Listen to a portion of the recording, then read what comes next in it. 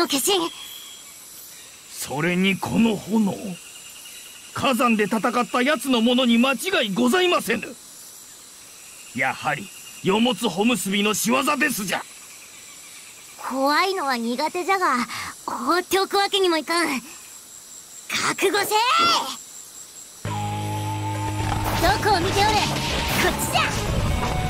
どこを見ておれもらったそれどこを見ておれ？こっちじゃはっとあるはどこを見ておれ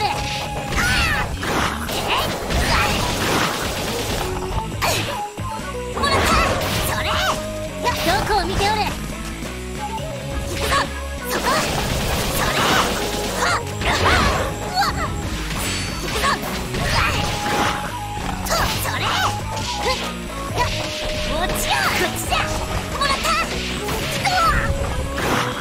こっちじゃだ。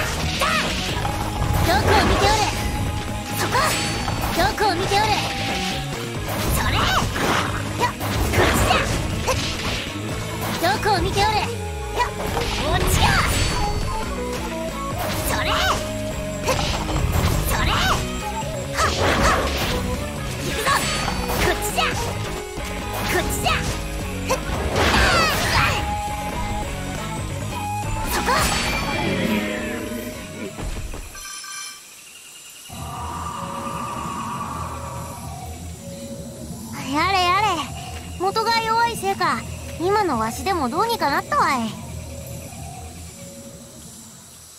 れで終わりであればよいのですがあの飛んでいった灯火が気がかりですな。よせよせ不穏なことを申すでない。さあ帰って飯にしよ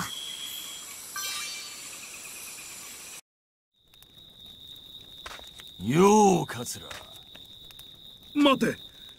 ここはそれがしに任せてくれんか。まあそのなんだ上がって飯でも食っていけ。この目でここを見て改めて分かったぜ。やはりてめえは始末すべきだったんだ。石丸あくまでそれがしたちは。いや大したもんだ。認めてやるよ桂。いい米も作れたみてえだしなそそうだろう。わかるか？お主にも。さあ食ってみてくれ。腹が膨れよく眠ればどんな怒りも収まる。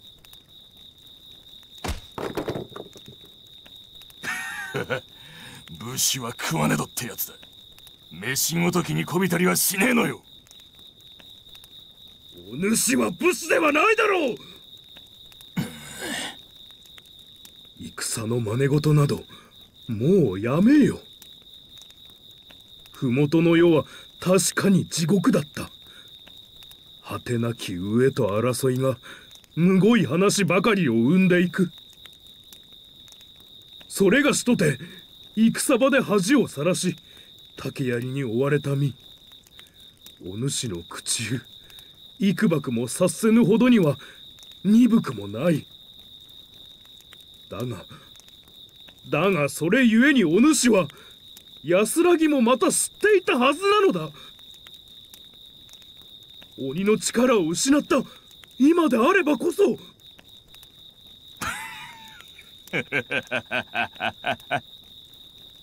違う違うぜ。そういうことじゃねえんだよ。やっぱりてめえってやつは。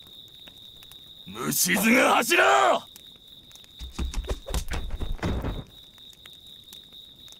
百姓の真似事してるのはてめえの方だってんだよ！やれよ！それでお互いあるべき姿とやらに戻れるだろうさ。侍は侍に百姓は百姓にだ。違う。そのようなものはカ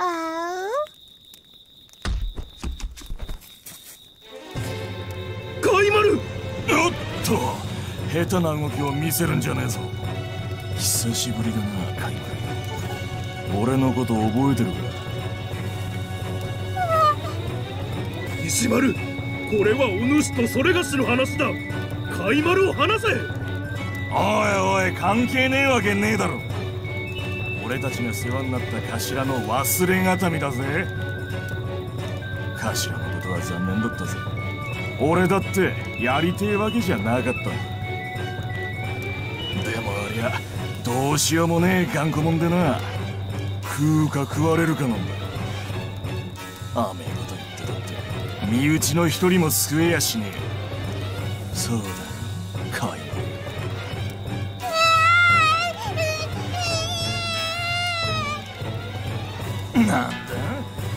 いつ喋れなくなっちまったのか？めんどくせえな。カイマル石丸目を覚ませ。この島に戦はない。もはや上すらもないのだ。我々が争わなければならぬ道理がどこにある？何言ってやがる俺の邪魔をしてんのはてめえの方だ。どけよ。今日のところは出直してやる。どうにも情けねえがこれが再起ののろしだ。俺は何度でもやるぜ。何度でもな。カイマルを離せ。てめえはその獲物を離してくれるのか分かってきたじゃんくそ話しやがれ。カイマル我が追うカイマルカイマルしっかりしろ。ミルテ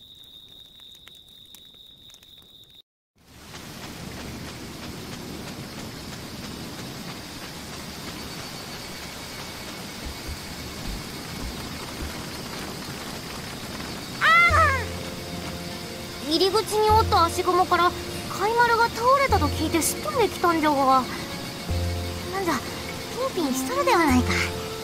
カイマルが倒れたのは病ではありませんでした。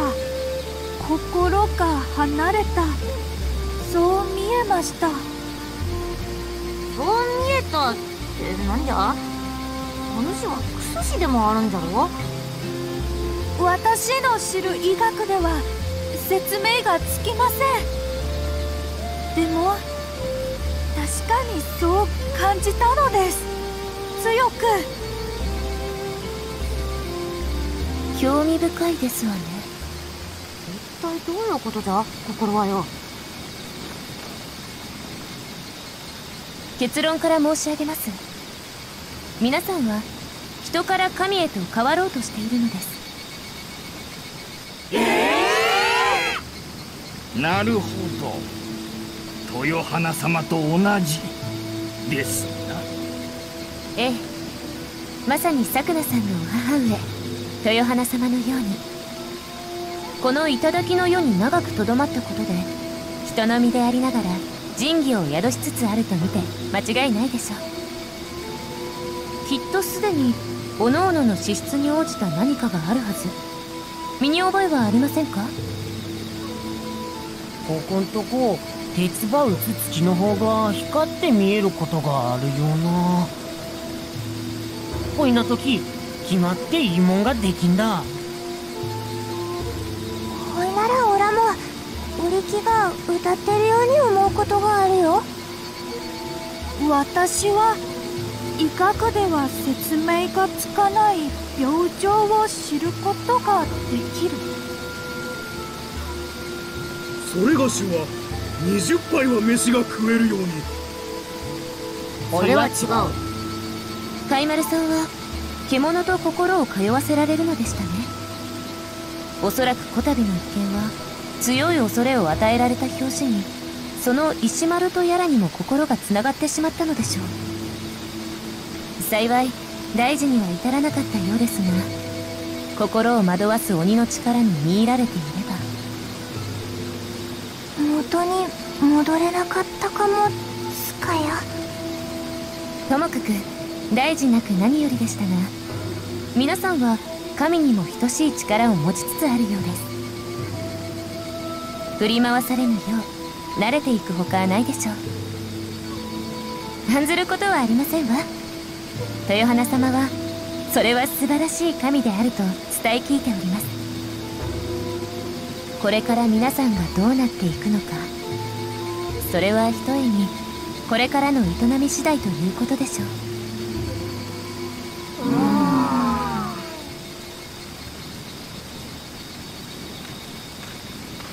たんじゃの。調べ物はどうであった？頂の世と麓の世。この2つ世にあるほとんどの山について調べました。やるっというとどれくらいあるんだ？数百くらいか？合わせて3万ほどでしょうか。麓の世の方がかなり多いようです。ええー、その数もとんでもないが全て調べきったお主の頭もどうなっておるんじゃ？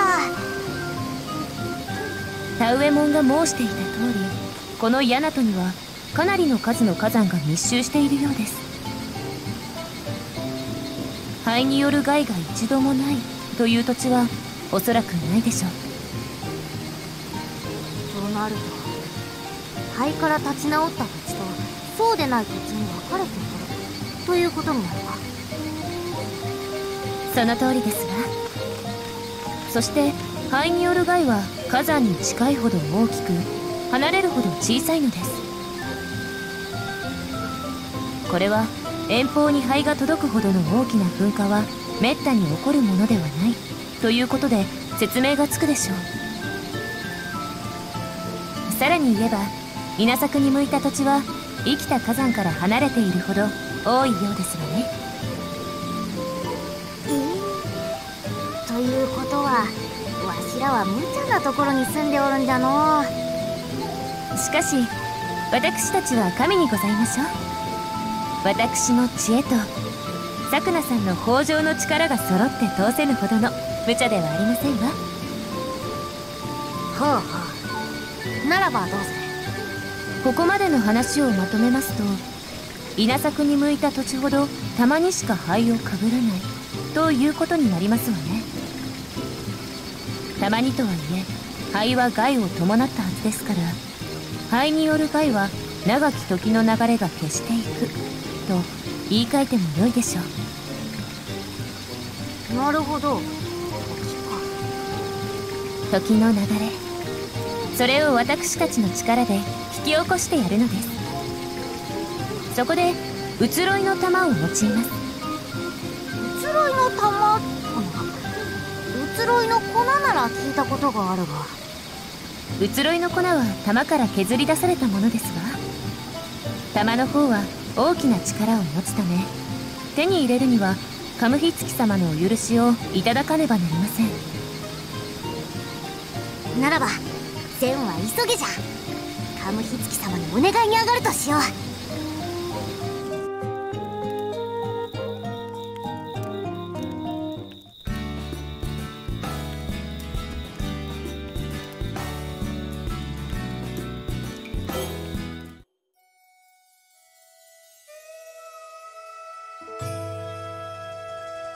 桜姫。心は姫よ。移ろいの玉が欲しいそうじゃな。ははあれは我が身にしてこの都を支えるソーセージの枝先になる実。下に強き仁義を凝縮しておるゆえ扱えるものは少なく陳の許しなくもぎ取ってはならぬ。その方らあれを何に使うつもりじゃ？米にございます。我が甘ほほの味を一層高めカムヒツキ様にお喜びいただくため移ろいの玉を何卒この桜姫に！米？米の味とな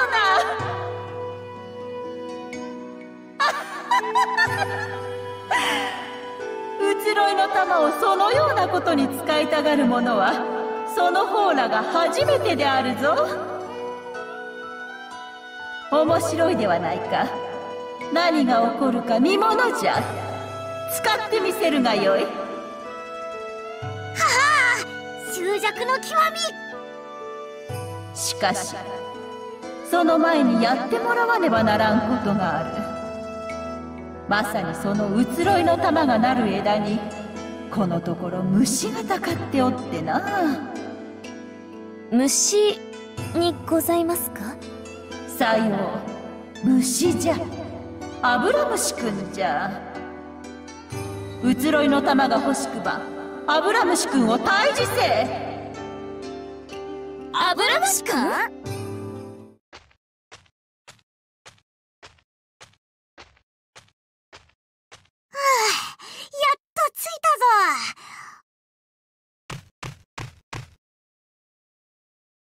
つらがアブラムシくんか。なんとも殴りたくなる間抜け面じゃ。なんという数。ええい片っ端からぶちのめしてやるわ。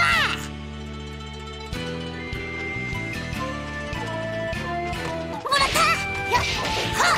ええー、行くぞ。そこ。とやっ。もらっ。たそこ行くぞ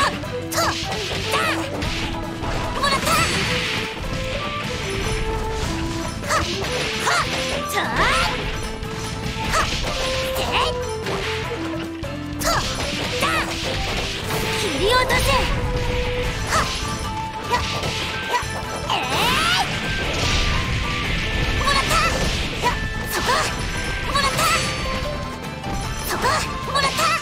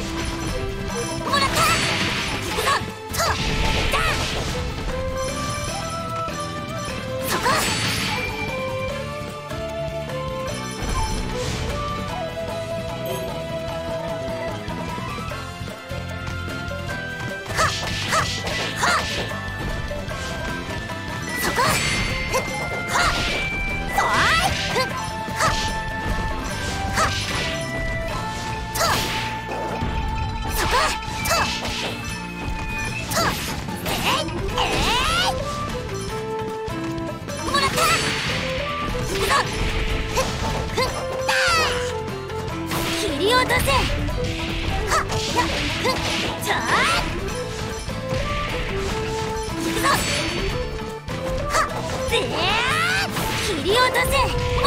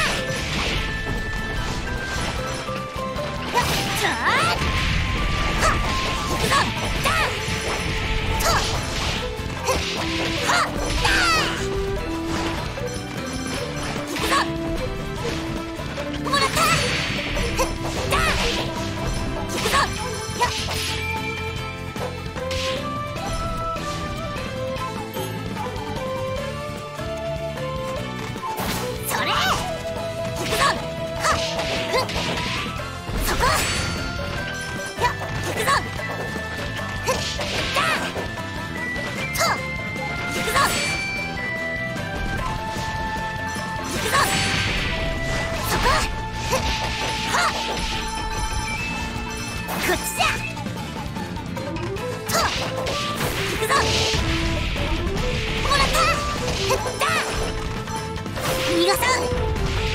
でとダ切り落とせはっやや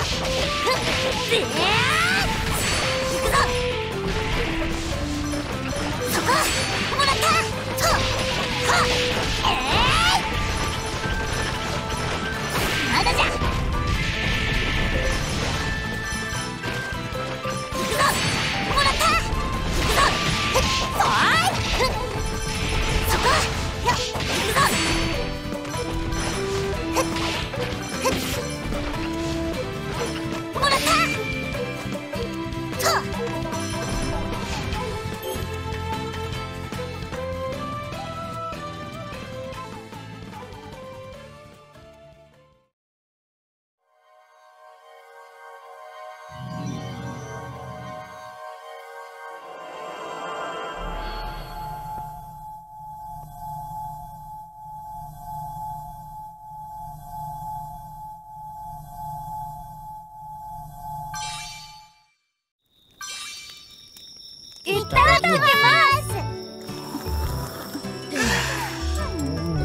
これがその移ろいの玉にござりますね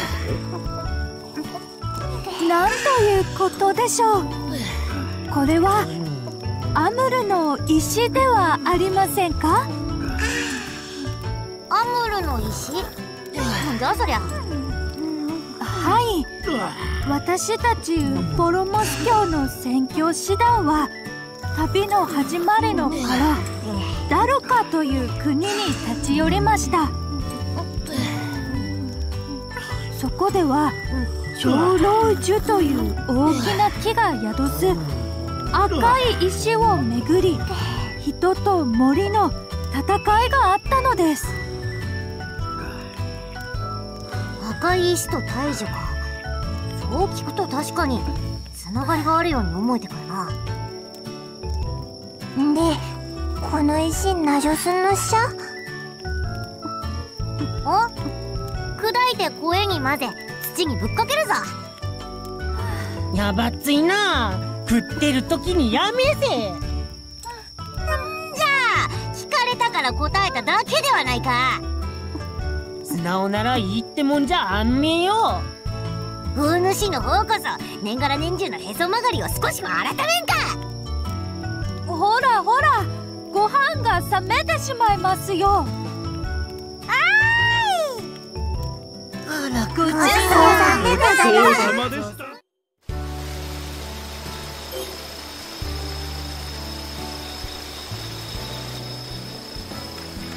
穂が熟してきたな。刈り取ってみる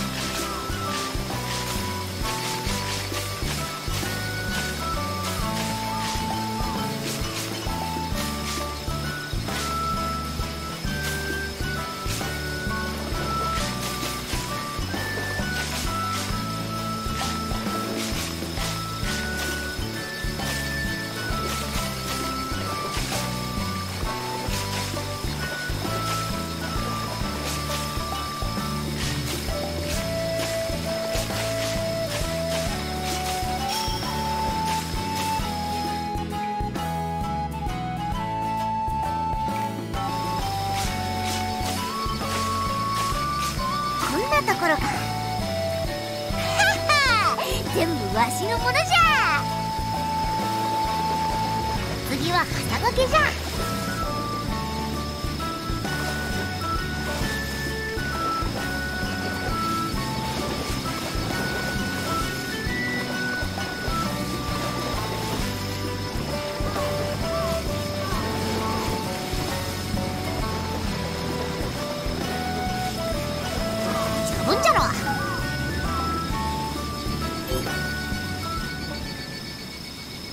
さて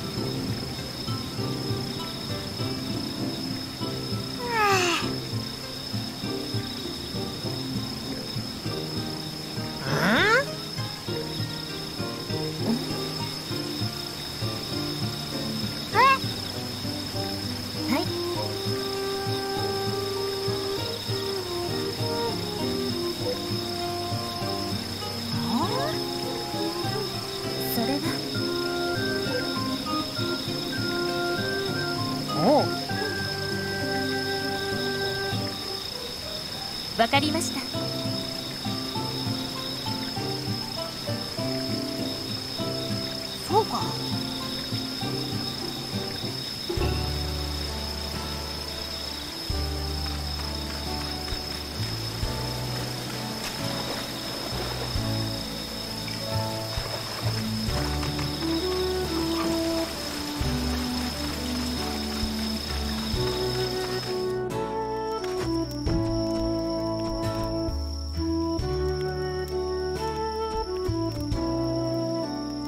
か食べるますか？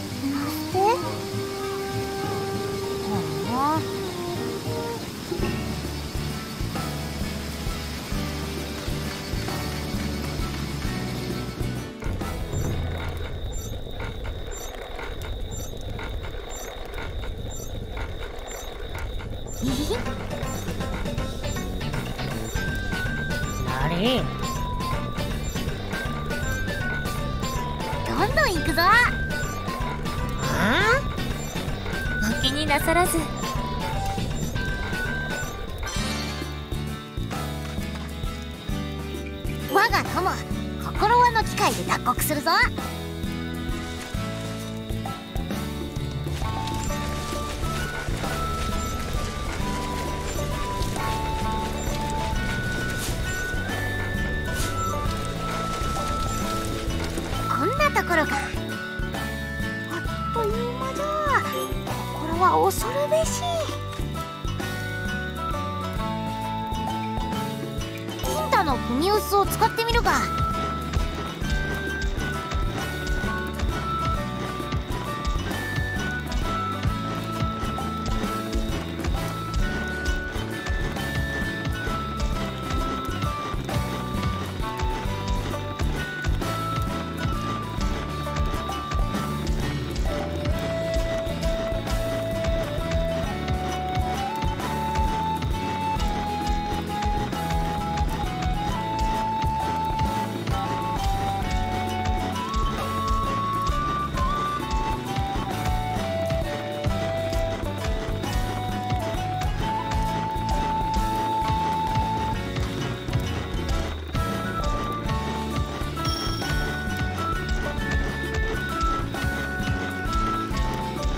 わり終わり。溢れる美しき輝き。これぞ白米じゃ。ふふん。まざっとこんなもん。